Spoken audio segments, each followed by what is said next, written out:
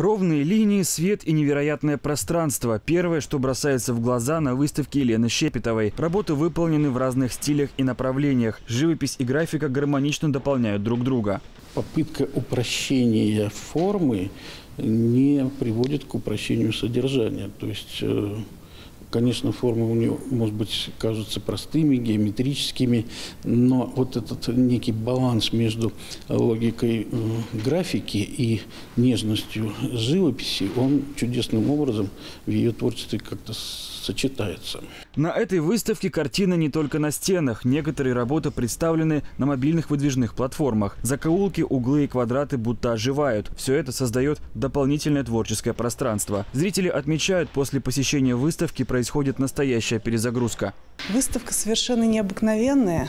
А, ты погружаешься как будто бы в какое-то уникальное пространство, пространство а, между мирами. И смыслы, которые э, ты черпаешь, подходя к каждой картине, фактически это твои внутренние смыслы.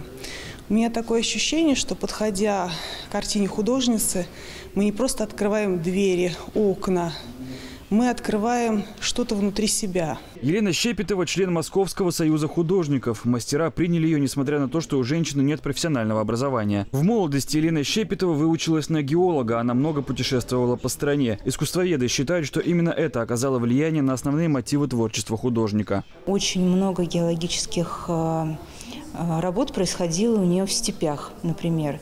А, и вот это сопоставление неба и земли, оно просто часто ей, оно сопутствует ее жизни.